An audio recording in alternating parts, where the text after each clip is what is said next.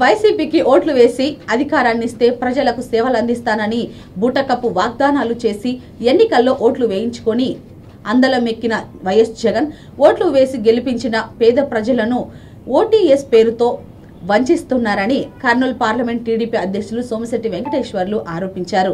నేడు టీడీపీ కార్యాలయం ఆవరణంలో వన్ టైం సెటిల్మెంట్ స్కీమ్ను నిరసిస్తూ పార్టీ కార్యకర్తలతో కలిసి జగన్ ప్రభుత్వ నిర్ణయానికి వ్యతిరేకంగా ప్లకార్డులు ప్రదర్శించి నిరసన తెలియజేశారు. వెంటనే ఓటీఎస్ను రద్దు చేసి పేదలకు ఉచితంగా ఇళ్ళ పట్టాలు ఇవ్వాలని డిమాండ్ చేశారు. వైఎస్ జగన్మోహన్ రెడ్డి ముఖ్యమంత్రి అయిన తర్వాత పేద ప్రజలను ఆదుకుంటాను.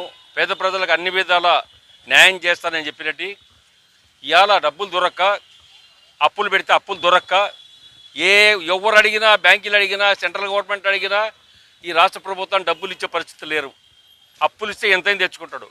ఆ అప్పులు ఏం చేస్తాడు ఎవడికి తెలియదు.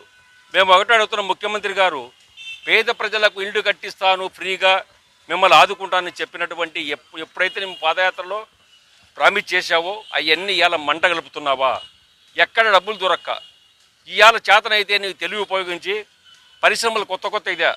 పరిశ్రమలు తే ఎవరైనా ఎక్కడెక్కడ ఉండో పే- పారిశ్రామికవేత్తలు అందరినీ పట్టుకొని పరిశ్రమలు తెస్తే మనకి ఎంతో అవ- ఆదాయం వస్తుంది.